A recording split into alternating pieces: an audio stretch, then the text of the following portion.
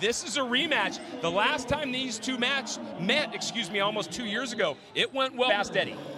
Yeah, well, I mean, it, it, this is a pretty tough bull, but I think Eduardo should ride this bull. To, should be to the left, can go both ways, and I think it, I think it'll fit him. What you were talking about, 2016, that's been a long time ago. But Eduardo's going to remember it, 87 and three quarter points. If he could do that again today, I guarantee there's a Cooper Tires Cowboy that would take that all day long.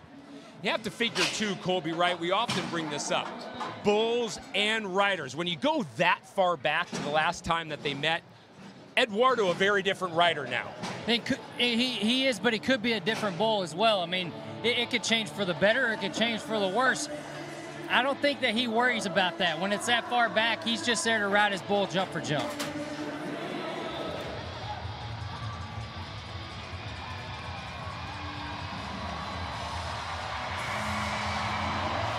Well, Eduardo Aparecido versus Gangster Can Do. It's the Cowboy with the can-do attitude, and Aparecido is on the board. This is a bull that has a lot of outside force to him, a lot of outside movement, so he's always trying to work you uh, to the outside. So away from your hand, it's always trying to pull you into your hand. You can see he got a little bit out of whack there, but he just, he, he tightened up a little bit in order to get back control of that bull. 10th qualified ride of the round. Yeah, and that's one that Eduardo needed. He had kind of hit a little bit of a cold streak the last couple of weeks, so he needed that to remind him just how good he is and just